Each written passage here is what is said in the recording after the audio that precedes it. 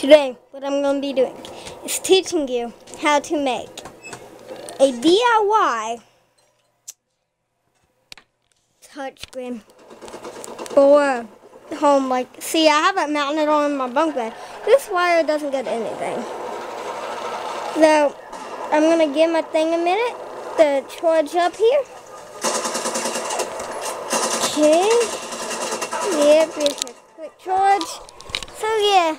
So yeah, the entire routine thought it was a good idea register. let's just like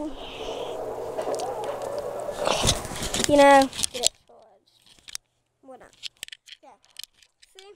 Like that charging fifty three percent. So yeah. I'm using it open. If you're wondering, this isn't my main phone. This is my main phone. Now to show you this phone is fully operational. Yeah, so it's in camera mode. Tyler here. Have some help. See? Fully operational. What your health is on. Nine. So, yeah. You could have shoot him a few seconds earlier. So, this is actually connected to my Google account. Okay. Proof of work. Right there, I don't really need to show proof. Now, if you're wondering how I have this up here, I actually have duct tape up there. It actually works pretty good.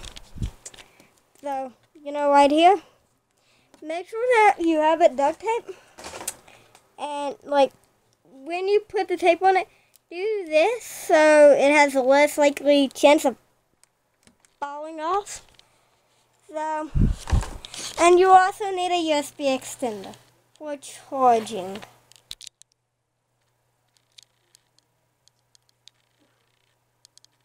So yeah, USB extender charging throughout here. The volume works, everything on it works. Just get the wall the tape and just get Care. Get an old phone. Just get an old phone. Get a new phone. You can get whatever phone you want. So yeah, please like and subscribe. You want more videos like this. So yeah, and when you get your phone, what you need for all of this is internet because you're gonna have to connect it to a Google account, and you are going to need? A power source? And so yeah. Please subscribe uh, so yeah. Tomorrow I'm, I'm, I might do a like an update video on it or something like that so yeah